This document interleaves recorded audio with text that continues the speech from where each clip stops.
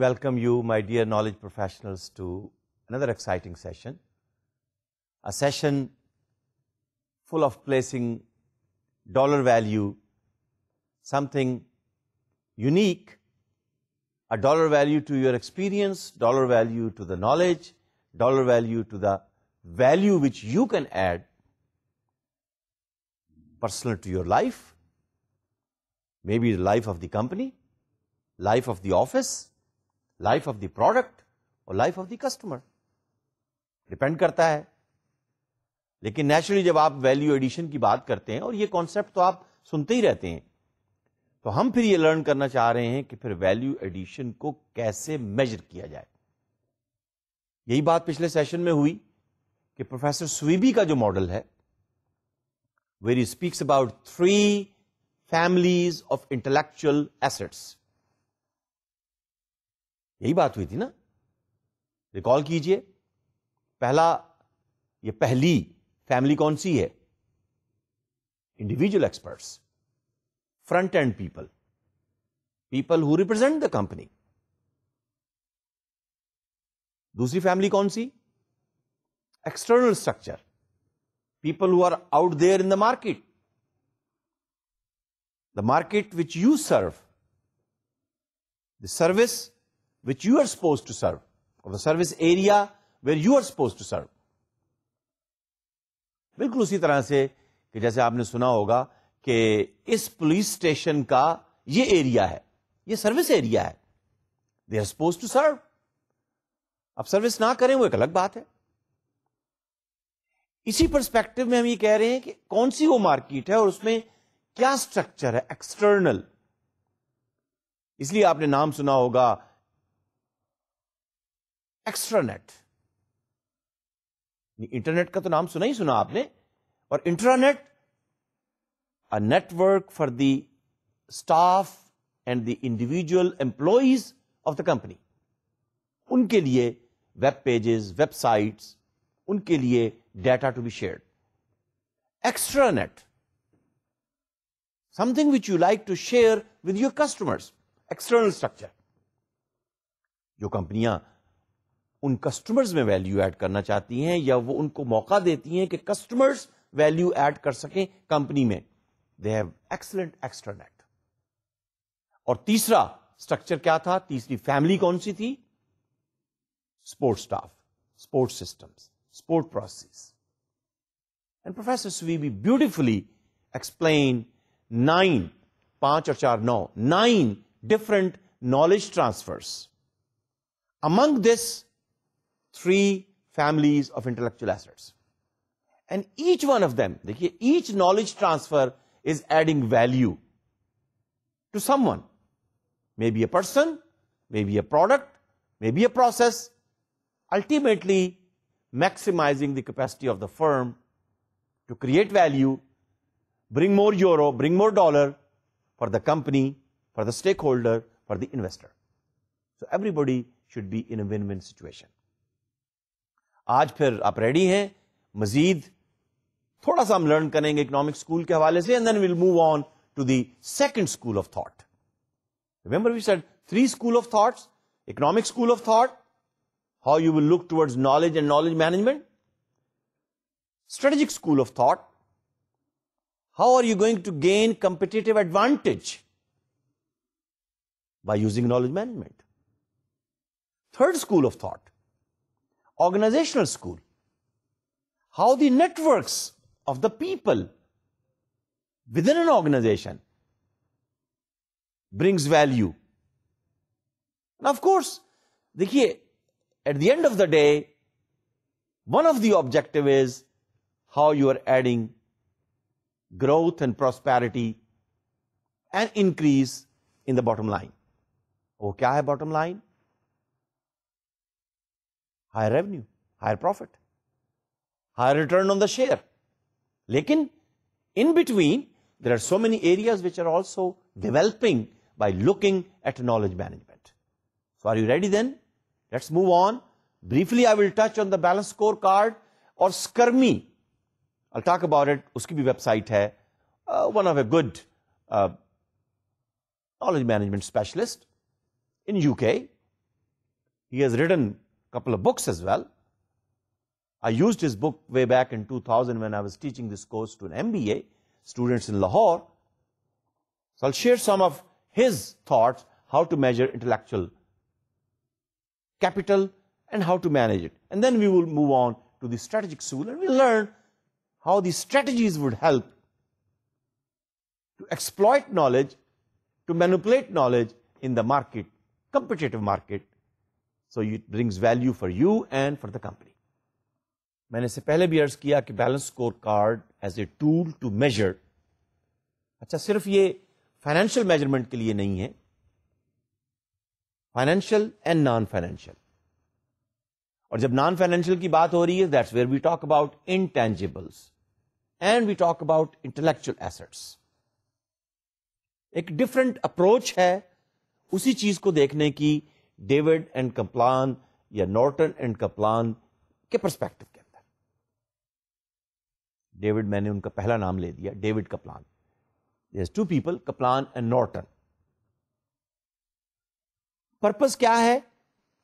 कि number one in इस balance score card as a tool some people take it as a strategic tool for the performance indicator to measure how the company is doing at the strategic level. But certainly, it gives you a methodology to measure scorecard, to measure in four perspectives. And we will see what are those four perspectives. उनमें से एक financial है ये कह लीजिए कि तीन non financial है लेकिन इस टूल का मेज़रमेंट टूल का पर्पस क्या है कि provide a visual representation of intellectual capital within an organization and it provides a non-financial measure to complement financial measure in accounts. यानी बैलेंस स्कोर कार्ड के अंदर चार पर्सपेक्टिव हैं। एक पर्सपेक्टिव फाइनेंशियल है। बाकी तीन नॉन फाइनेंशियल है। तो उस पर्सपेक्टिव के अंदर कुछ लोग ये कहते हैं कि I think it's a good blend of all four remember in Skandia navigator also financial and non-financial, both were present. Greater emphasis on information economy priorities, such as long-term capability, मैंने कहा था ना, strategic focus, long-term capabilities, customer relationships, again, a long-term focus. Then traditional financial perspective. ये short-term focus है. एक ही दफ़ा अगले की जेब काट लो ना जैपनीज कहते हैं आहिस्ता आहिस्ता काटो और बल्कि एक स्टेप और वो आगे जाते हैं वो कहते हैं कुछ इस तरह से काटो देखिए जेब तो कटेगी कस्टमर की बट कुछ इस तरह से काटो कि उसे पता ही ना चले। Give him value that he enjoys the value and he forgets और she forgets the burden on the pocket और द पर्स ये है जापानी तरीका। They are beautiful people they are artist they are really intelligent people how to develop their products and be leader of the market any how traditional financial perspective भी आप इससे measure करते हैं। Hence it provides A balanced view of the company it helps company clarify its vision because really you draw these performance indicators from the vision and mission of the company. It's a tool for strategic planning and performance measurement. ये वो चार areas हैं देखिए financial external customers internal customers या internal process और चौथा क्या है innovation and learning I repeat अगर आप फाइनेंशियल से शुरू करना चाहते हैं तो number one financial number two customer number three process number four innovation and learning कुछ लोगों की ये अप्रोच है। मेरी अप्रोच ये है कि you start with innovation and learning अगर आपके एम्प्लॉयज़ लर्न करेंगे, अगर आप उनको इनोवेटिव होने का मौका देंगे, अगर आप उनको ऑन द जॉब ट्रेनिंग देंगे वोकेशनल ट्रेनिंग देंगे स्किल सेट बढ़ाएँगे कॉम्पिटेंसीज बढ़ाएँगे उनकी कैरियर को डेवलप करेंगे। They will add value to the process so first you add value to the people they will add value to the process so a valuable process अब value कैसे process में add होगी? Naturally process will be improve process will be efficient capability of the process would be higher, cost time would be, uh, cost of the product will be lower, downtime would be low, so many ways of improving the process. So, value will be added to the process, and once the value is added to the process, value will be added to the product which the customer will receive. So the customer will be happy, customer will be satisfied, customer will be loyal. So you are adding value to the customer. So valuable people, adding value to the process, giving and generating valuable customers. And then at the end of the day, when customers are valued, and when customers value your products and services, you are in business, you will get more revenue, you will get more profit, your investors will be happy, you will be happy. So that's how a holistic view of looking and a balanced view and a broader view. Short-term financial perspective, long-term strategic perspective, customers, processes, and employees. That's why we say it adds non-financial, it focuses on the drivers, it adds future orientation, it helps communicate, it's a management tool, but are we ready for it? It's a step in the right direction. लेकिन देखिए ना हम इसमें तो कोई दो राय नहीं कि we like to see better financial performance we like to see more assets on the balance sheet. We like to see more revenue, more profit, more sales. ठीक है. That means we need more customers. Customers की भी importance अब कंपनियाँ पाकिस्तान में realise करने लगी। हैं कस्टमर्स की सिटीजन्स की इंपॉर्टेंस अब पाकिस्तान में पब्लिक सेक्टर में भी रियलाइज़ होने लगी है। But how are the process customers उस वक्त तक हैप्पी नहीं होगा, जब तक आपका प्रोसेस एफिशिएंट ना हो हाईली फंक्शनल ना हो वेस्टेज कम हो उसमें रिजेक्ट कम हो स्क्रैप कम हो। कोई भी प्रोसेस कह लीजिए आप। नहीं कस्टमर्स ने कॉल की, आपने आंसर दिया। Within short period of time customer is satisfied उसके मुकाबले में कस्टमर ने कॉल की, आपने सुनी नहीं। तीन मरतबा कॉल करने के बाद उसकी कॉल मिली, आपने सुनी तो आपने जवाब ही उसको देना मुनासिब नहीं समझा, कहा कि मुझे मालूम नहीं। या आपने अगर जवाब दिया भी तो उसको दोबारा आने के लिए कहा। थिंक ऑफ़ इट आप जरा खुद थोड़ी देर के लिए कस्टमर बन जाइए फिर देखिए कि आपकी इस कम्युनिकेशन से how people are happy how much value you are adding in the lives of the customers. So it is a step in the right direction, but are we ready? So maybe through this course, I'm trying to make you motivated that please, these are different ways of looking at it, improving the process, improving the satisfaction at the individual level and at the organizational level. This time we are talking through value addition. And we are putting a dollar or a rupee value to the knowledge. So balanced scorecard with these four perspectives, certainly the financial perspective means how do we add value to our stakeholders. देखिए value की बात आ गई ना और stakeholder या investor में value कैसे ऐड होगी भाई, उनके तो शेयर की प्राइस बढ़नी चाहिए। कंपनी की मार्केट वैल्यू बढ़ेगी तो बुक वैल्यू ऑटोमेटिकली इंक्रीज हो जाएगी। यानी बुक वैल्यू इस तरह से इंक्रीज होगी कि उसके शेयर की प्राइस बढ़ जाएगी। वैसे तो बुक वैल्यू हुई रहेगी। मार्केट वैल्यू बढ़ती है शेयर की प्राइस बढ़ती है। कस्टमर परस्पेक्टिव क्या है? Number two what are our customers needs are we meeting them what do customers value फिर वही बात वैल्यू की आ रही। Do they get value for their money Do they get value for their time? Do they get value for their phone call? Do they get value for their dialogue? That's a question to be answered. And strategic focus. Third kya? Internal business process perspective. How well is the business running? Do products and services meet customer requirements? Achha, sirf meet hi. Exceed customer requirements. और चौथा perspective है learning and growth perspective. How can we add value into the staff members? कैसे? Value कैसे add होगी? Knowledge कैसे add होगा? through learning. Learning on the job, learning by doing, learning by reflecting, learning by thinking. तो please आइंदा से अगर कोई नॉलेज वर्कर टेबल पे बैठा सोच रहा हो तो ये मत समझिएगा कि ये काम नहीं कर रहा a knowledge worker whenever he thinks I think he she is trying to think how to add value into the process take a positive look a positive attitude it will bring a healthy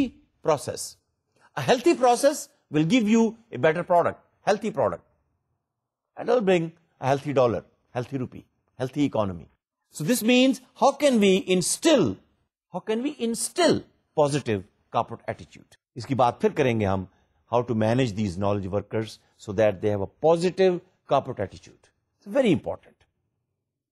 नहीं है ये पाकिस्तान में इसकी ज़रूरत है उसकी reasons कुछ भी हो सकती हैं देखिए let's not enter into the blame game वो आप कहेंगे जी फलाने किया फलाने किया फलाने किया सी लेवल ने किया बी लेवल ने किया बॉस ने किया हेड ऑफ़ द डिपार्टमेंट ने किया पॉलिसी ने किया गवर्नमेंट ने किया blame game let's not enter into the blame game let's find solution so please develop an attitude of being a solution provider balance score card it builds on total quality management आप में से अगर कुछ students quality management का course पढ़कर आए तो compare कीजिए बैलेंस स्कोर कार्ड की या इवन इंटेलेक्चुअल एसेट की।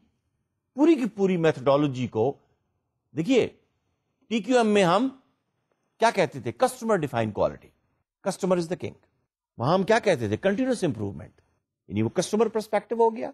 ये process perspective continuous improvement employees empowerment internal customer की बात हो गई. And then we talk about in quality management, measurement based on feedback. What customer is talking, what process is talking, what investors are talking, we want to measure. और इसके साथ ही देखिए एक और चीज़ मैं यहाँ पर फ्लोट कर रहा हूँ डबल लूप फीडबैक लर्निंग के परस्पेक्टिव में हमने कहा था ना learning add value you learn some new knowledge you learn some new skill you learn some new competency through learning अब लर्निंग के परस्पेक्टिव में जरा पढ़िएगा किसी किताब के अंदर single loop learning double loop learning and third loop learning single loop learning you modify the action you take a corrective action double loop learning जिसकी मैं यहाँ पे बात कर रहा हूँ we modify and we correct the thinking behind the action third loop of learning मैं आप पे छोड़ता हूँ, जरा पढ़िएगा क्या होता है। So double loop learning That you identify the problem you think you identify the problem and then changes so that the problems are eradicated at source. Not corrected, not prevented, eradicated. Double loop learning. और पर third loop learning क्या होगी? It is an assignment for you. All right. Coming to the end of the economic school, let me quickly share with you Skirmy's 10 steps, David Skirmy, of 10 steps to intellectual capital measurement. Once again, economic school of thought coming from UK. He also has a website, www.skirmy.com. A lot of material you will find on his website as well. He has also written book, Knowledge Networking. He says, if you follow these 10 steps, you will measure the intellectual capital of your company. Number one, please root the language of knowledge देखिए ना knowledge से बात शुरू हो रही है और knowledge की अपनी जुबान है मास्टर की अपनी ज़ुबान है अप्रेंटिस की अपनी ज़ुबान है। सी लेवल मैनेजर की अपनी ज़ुबान है बी की अपनी है ए लेवल की अपनी है। पाकिस्तान में काम करने वालों की अपनी ज़ुबान है यूके में काम करने वालों की अपनी ज़ुबान है। बात वही होती है, कहने का अंदाज मुख्तलिफ़ होता है। डिश चिकन की होती है। पकाने वाला जो है, उस चिकन की डिश की कीमत दस रुपए से लेकर सौ रुपए बल्कि उससे भी ज़्यादा पहुँच जाती है root the language of knowledge and intellectual capital in the business strategy review the existing performance measurement systems क्या उसमें कुछ नॉलेज का रोल है to see how well they address the intangibles of intellectual capital and knowledge align the business strategy may be with knowledge management strategy. We'll talk about, when we're speaking about the resource-based theory of the firm. That how if you take knowledge as a resource, what is the strategic management approach? Develop an appropriate model of intellectual capital. अब इसने कहा जी आप अपना model develop कीजिए which will reflect the needs of your organization. Number four, within each unit or team, you develop what measures you are going to measure which are linked to the team goals. Goals हैं performance indicators क्या होंगे और कैसे आप उनको measure करेंगे. Number five, good measures are understandable, practical, and predictive. Number six, integrate these indicators into management goal setting and reporting. Number seven, my dear students, look for some common measures which can be used for comparison across the business units. Maybe some business practices, best practices, good practices, excellent practices, and how to measure them. Number eight, as experience is gained, introduce measures to help conversion of human capital into structural capital. ये बड़ा important conversion है कि आप मेरी expertise को, आप मेरे experience को कैसे डेटा रिपोजिटरी के अंदर नॉलेज रिपोजिटरी के अंदर पोर्टल के ऊपर वेब पेज के ऊपर ट्रांसफ़र करेंगे। पहले तो आप मुझे से इंटरव्यू करेंगे ना। But that is what you are doing converting the human capital which is mind personal capital into structural capital in the form of a system, in the form of a process, in the form of a policy, in the form of a best practice, in the form of intranet, in the form of data repository, whatever you name. That would be structural capital. Number nine, regularly review the measures so that they become part of the learning process of how knowledge spores the business strategies. So knowledge, management strategies, and business strategies. Must be aligned together. And number 10, and the last step in his recipe, how to measure intellectual capital, is that when confidence is gained, देखिए ना आपने एक नई skill learn की एक महीना दो महीने दो हफ़्ते चार हफ़्ते आपने उसको प्रैक्टिस में इंप्लीमेंट किया now confidence is gain start reporting these to external bodies अगर तो ये बेस्ट प्रैक्टिस है let it be known to customers to suppliers अगर ये बिज़नेस अगर ये कोई बेस्ट प्रोसेस है, अगर ये कोई हाईली वैल्यू एडिशन इंडिकेटर है वैल्यू एडेड एक्टिविटी है इनोवेटिव प्रोडक्ट की शक्ल में सामने आ रही है let it be known to the investors external bodies however so देखिए ना कंपनी का जो एक्सटर्नल एनवायरमेंट होता है Political environment legal environment economic environment technological environment all of it depending upon where do you want to gain competitive edge. Within the space market, within the place market, internet marketing or marketing on the place. Depend करता है कि आपकी external bodies कौन सी हैं. But once the confidence is gained, let it be known that this is how we are adding value to our customers. मिसाल के तौर पर a company which produces paper, manufactures paper and paper products. They will let their customers know that we have planted 10,000 trees in this area of Pakistan. They're letting the customers and their suppliers and their stakeholders know that we do care about the environment. इस case में कौन सा होगा the ecological environment of the country. So these are the different ways of uh, measuring intellectual capital according to Skirmy. So my dear students, to come to end to the economic school of thought, European school of thought, we learned Scandia's navigator, we learned Professor Sweeby's intellectual asset monitor, we touched upon balance scorecard once again, and the fourth way of looking at it, Skirmy's intellectual capital measurement and following his methodology. And then, of course, my suggestion that you may come up one of your own. So let us now move on to the second school of thought, who would like to see towards knowledge management from strategic point of view, not from the value point. देखिए economic school of thought में क्या है how much value is being added so let us calculate remember KVA knowledge value added methodology strategic school of thought ये है how is the long term focus what are those strategies which can give us a comparative advantage or a competitive advantage we're looking for those strategies which will make our company stay longer, sustainable. Process में जो हम improvement लाएँ culture में जो हम improvement लाएँ technology में जो इंप्रूवमेंट लाएँ हमें स्ट्रेटेजिक एडवांटेज मिले। शॉर्ट टर्म गेन हमें नहीं चाहिए। लॉन्ग टर्म अच्छा फिर लॉन्ग टर्म से क्या मुराद है? थ्री टू फाइव ईयर्स कम अज कम थ्री टू फाइव ईयर्स जापानी तो कहते हैं ten to hundred years depend करता है। पाकिस्तान में हम बाजुकात कहते हैं, आपने सुना होगा एडहॉकिज्म अरे भाई, आज की फ़िक्र कर लो, कल देखी जाएगी जब आएगा। टोटल एडहॉकिज्म तो डिपेंड करता है, आप कैसे चीज़ों को देखते हैं। Please learn even at the personal life next one year next three years next five years what is my plan strategic approach strategic approach is always a better approach because you're looking at the future. So this uh, strategic school of thought, are you ready now? थोड़ा page turn कर लीजिए थोड़ा intellectual window अब strategic school की तरफ़ open कर लीजिए तो strategic school means looking from strategic view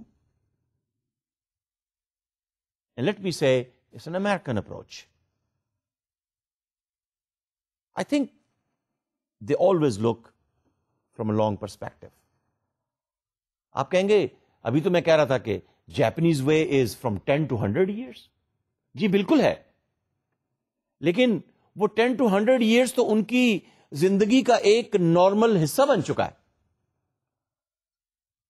they are more people focus community focus वो कहते हैं, जी जनरेशन तो रहती हैं।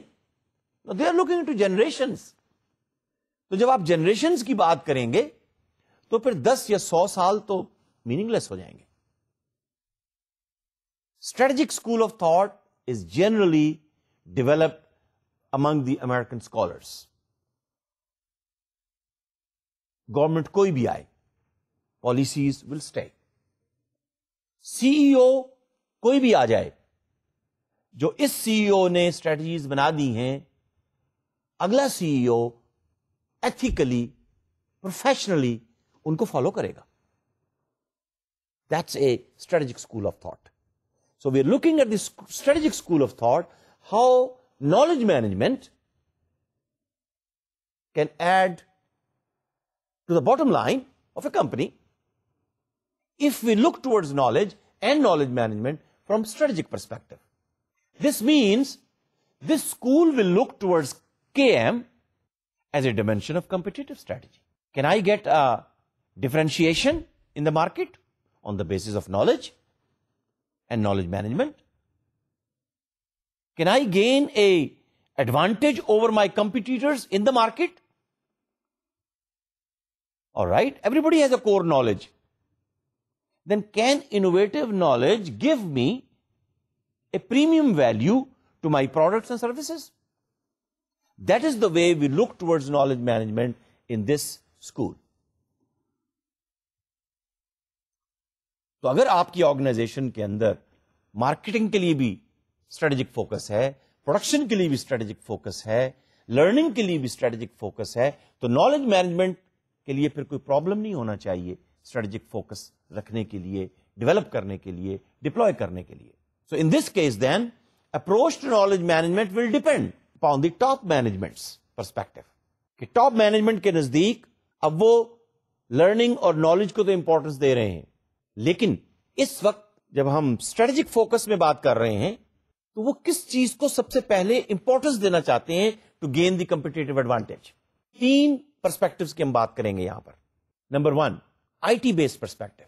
This perspective concerns with the development, application, storage, and distribution of information to knowledge workers using IT's hardware and software systems. ये ठीक है हम नॉलेज मैनेजमेंट को इंप्लीमेंट करना चाहते हैं हम लेकिन मेरी कंपनी का focus I mean this is top management perspective company a CEO and CFO and CEO and CDO they sit together they make a decision कि नहीं, हम अपनी कंपनी के अंदर नॉलेज मैनेजमेंट को इस तरह से इंप्लीमेंट करेंगे कि we will improve the hardware we will bring in the software software to acquire knowledge software to store knowledge software to apply knowledge software to share knowledge among the knowledge workers in the company fine वैसे knowledge management develop तो शुरू में Japan में हुआ in fact professor Nonaka was the first one to introduce formally through Harvard Business Review articles writing the book, The Knowledge Creating Company, after working for 10, 15 years in different companies.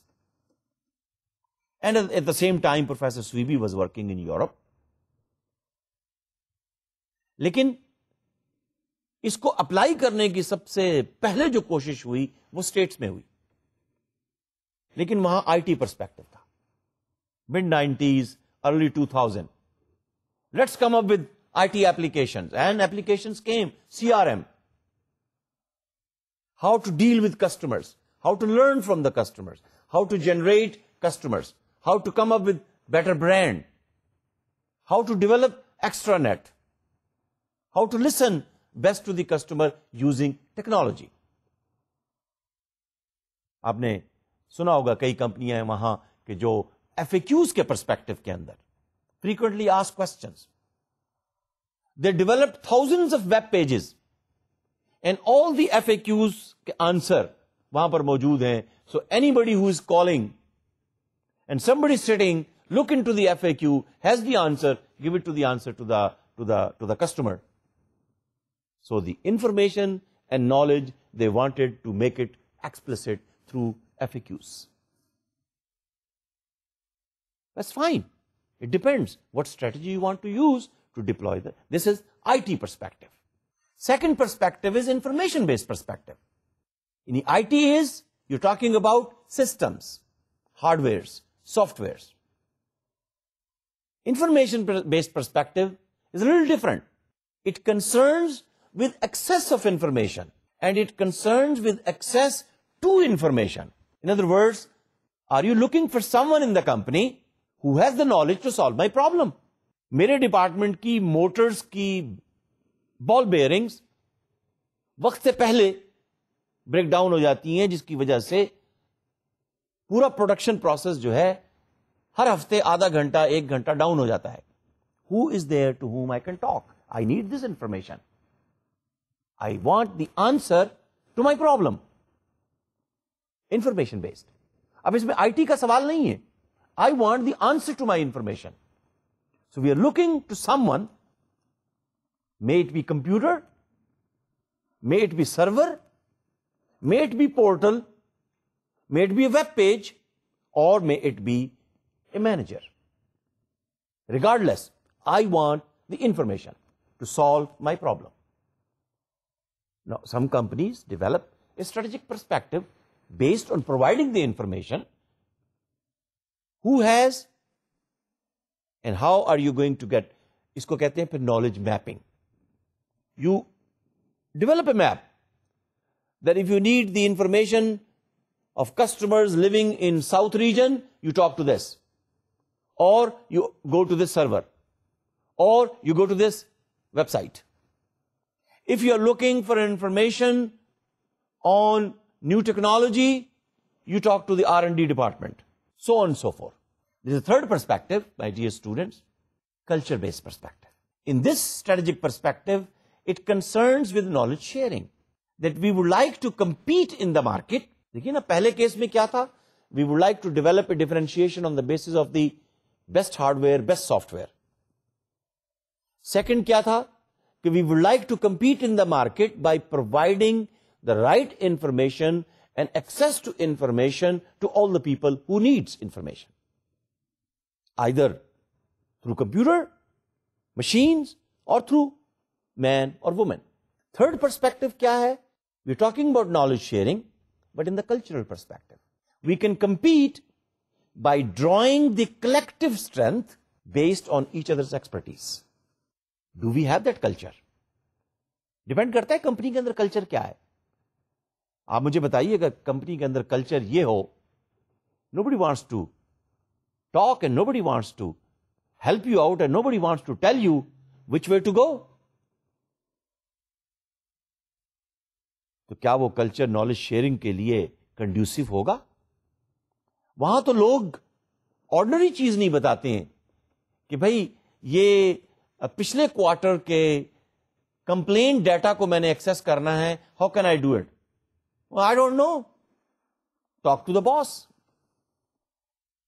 मैंने learn करना है कि south region के अंदर जो customers रहते हैं, उनका बिहेवियर क्या है? उनका परचेज पैटर्न क्या है? किसी मार्केटिंग वाले से आप पूछ रहे I don't know talk to your boss ना इस कल्चर के अंदर do you think knowledge sharing is possible probably not so it depends कि ये तीनों परस्पेक्टिव हैं स्ट्रेटेजिक मैनेजमेंट के परस्पेक्टिव में आप नॉलेज मैनेजमेंट को कैसे एज ए प्रोजेक्ट अप्लाई करना चाहते हैं इंप्लीमेंट करना चाहते हैं लेकिन depending upon the situation one can choose a strategy for knowledge management इसलिए कि देखिए अगर reinventing the wheel all the time is the big problem मैंने कहा था ना बॉल बेयरिंग मोटर की टूट रही है। इंजीनियरिंग डिपार्टमेंट वाले जानते हैं, मगर किसी को नहीं बताते। प्रोडक्शन डिपार्टमेंट वाले जानते हैं, किसी को नहीं बताते। तीसरे डिपार्टमेंट वाले हैं, वो भी किसी को नहीं बताते। इंफॉर्मेशन का आंसर मौजूद है। They don't want to share everybody is reinventing the wheel so if reinventing the wheel is problem then better is information based process put it on the let let people know that if you need this information, don't reinvent the wheel. Ask this person or this machine you will get the answer so implementing km project in the information based process would be more successful in this kind of uh, culture in this kind of corporate environment culture मुझे नहीं कहना चाहिए mix न कीजिएगा चीज़ों को इस किस्म के कॉर्पोरेट एनवायरमेंट में इस किस्म के टॉप मैनेजमेंट के माइंडसेट के साथ जो इंफॉर्मेशन बेस्ड परस्पेक्टिव रखते हो नॉलेज मैनेजमेंट को फिर आप इंफॉर्मेशन बेस्ड परस्पेक्टिव और स्ट्रेटजी के साथ अप्लाई कीजिए। If technology in the firm is unable to provide even basic services to knowledge workers and knowledge users यानी कंप्यूटर ही नहीं है लोगों के पास लैन ही नहीं है। और अगर लैन है तो इंटरनेट ही ब्रेक रहता है हर वक्त। ईमेल ही हम नहीं पढ़ सकते। तो वहाँ पर आप नॉलेज मैनेजमेंट कैसे अप्लाई करेंगे? इसलिए कि देखिए नॉलेज मैनेजमेंट की तो पहली रिक्वायरमेंट ये है knowledge worker knowledge user who are hooked up with technology they are linked with internet they are using technology as enabler तो वहाँ देखिए नॉलेज मैनेजमेंट को इंप्लीमेंट करने के लिए आईटी बेस्ड परस्पेक्टिव बेहतर होगा, इसलिए कि आईटी में हमने क्या कहा था? You will add on hardware you will add on software so once workstations are available to all the knowledge workers, once basic infrastructure is there, then you speak of knowledge acquisition knowledge creation knowledge application knowledge sharing then things would be possible तीसरा perspective क्या है if knowledge workers are isolated and they are reluctant to share knowledge तो पहले culture change कर लीजिए ना तो culture based perspective जो है यहाँ पर नहीं कल्चर फिर आपको क्या डेवलप करना होगा कल्चर ये तो नहीं डेवलप करना होगा ना कि कोई किसी से बात ना करे तो फिर वो नॉलेज मैनेजमेंट तो ना हुई नॉलेज मैनेजमेंट को इंप्लीमेंट करने के लिए फिर आपको कल्चर में कुछ चेंज लानी पड़ेगी। You have to let people know why they have to share and if they come up with the best idea what will be the reward if they will come up with the innovation how their performance will be evaluated let them know change the culture. So my dear students, then we need to find out what is the perspective and how we are going to take a look from the strategic point of view. So let's move on then one step. If that is the case, IT-based perspective, information-based perspective, culture-based perspective. यानी देखिए अगर लोग reluctant है knowledge share करने से और आप information based perspective के ज़रिए से नॉलेज मैनेजमेंट को इंप्लीमेंट करना चाहेंगे I am sorry it will fail लोगों के पास कंप्यूटर ही नहीं है but to speak of laptop and palm top और आप कहते हैं, जी, मैं नॉलेज मैनेजमेंट अप्लाई करने जा रहा हूँ इंप्लीमेंट करने जा रहा हूँ। भाई, कहाँ होगा वो? मेरी बहन नहीं हो सकता। तो आपको पहले corporate environment top management mindset देखना होगा and then you have to take a strategic outlook and strategic approach एक और चीज़ स्ट्रेटेजिक परस्पेक्टिव के अंदर आपके साथ शेयर करता चलूँ। Would you like to choose a codification strategy और अ पर्सनलाइजेशन स्ट्रेटेजी आपको ये नॉलेज मैनेजमेंट के परस्पेक्टिव में डिसाइड करना होगा। Codification means you are trying to hook up and link people to the document अब वो डॉक्यूमेंट चाहे कागज़ की शक्ल में हो हार्ड पेपर पर, या सॉफ्ट पेपर पर और सॉफ्ट पेजेस पर हो वेब पेजेस पर पोर्टल पर हो। You have to make a decision codification is people to document approach whatever you have you will put it on the HTML code. Whatever you have, you will use XML and let all these web services be available to all the information, to all the stakeholders of the company. It calls for automation. It calls for computer centers. It calls for call centers. It calls for approach where the knowledge will be reused. You're taking knowledge as an object. You're trying to implement the object using codification strategy. Code ही बनाएँगे ना मैंने इसलिए knowledge को as an object as a entity आपके सामने पेश कर दिया है इसका मतलब यह होगा कि फिर नॉलेज रीयूज अप्रोच आप यूज़ कर रहे हैं और ऑटोमेशन ऑफ़ नॉलेज पे बिलीव करते हैं you want to link the people to the documents कि एक्सप्लिसिट नॉलेज पढ़ लीजिए, उसको अप्लाई कीजिए। एज फाइन डिपेंड करता है कि किस मुल्क में, किस कंपनी में क्या एनवायरमेंट है। मिसाल के तौर पर मेरा ख्याल यह है codification strategy would be better in the American companies it will not work in the Japanese companies जहाँ इंडिविजुअलिस्टिक कल्चर है, वहाँ codification strategy would be better to gain the advantage जहाँ टीम कल्चर और कलेक्टिव कल्चर है वहां codification strategy will not be successful वहां personalization strategy would be more useful what is it personalization is where you connect people to people shared by face to face maybe through telephone maybe through email maybe through video conferencing maybe through dialogue in other words you are putting more emphasis my dear students on not computer networks computer networks तो होंगे but you are putting more emphasis on people networks On social networks on soft networks ये engineers की community है, ये marketers की community है, ये IT वालों की कम्युनिटी है, ये कस्टमर्स की कम्युनिटी है, ये बेस्ट प्रैक्टिस की कम्युनिटी है. You name it soft networks so this will be people to people so it depends how you take a look at it. But certainly, if you compare these two strategies, competitive strategy by codification is to provide high quality, reliable and fast information or information systems, implementation by reusing the codified knowledge, and certainly this means that this strategy, codification strategy, would give you a unique advantage. Lekin, on the other hand, strategy by personalization, it will provide you creative, analytically rigorous advice on high level strategic problems by channeling individual expertise. इसलिए कि देखिए ना dialogue face to face email video conferencing part of the strategy है। तो जो आपके पास strategic complex problem है, वहाँ आप इस पर्सनलाइजेशन स्ट्रेटजी को जब आप यूज़ करेंगे तो फिर आपको क्रिएटिविटी और एनालिसिस और एनालिटिकल माइंडसेट ज़्यादा मिलेगा।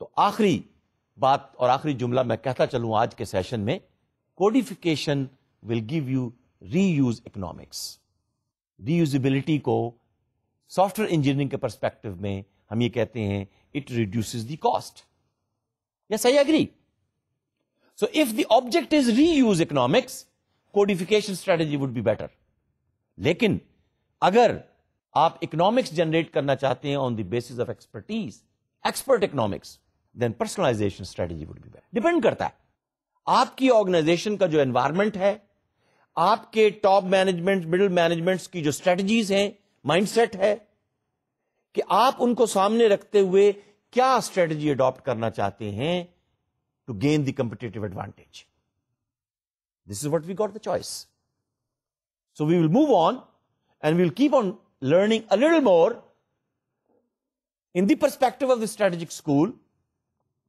That how knowledge and knowledge management can help us develop strategically a unique advantage that we will be a winning company, a world-class company, a sustainable company, a profitable company, and a profitable, sustainable manager.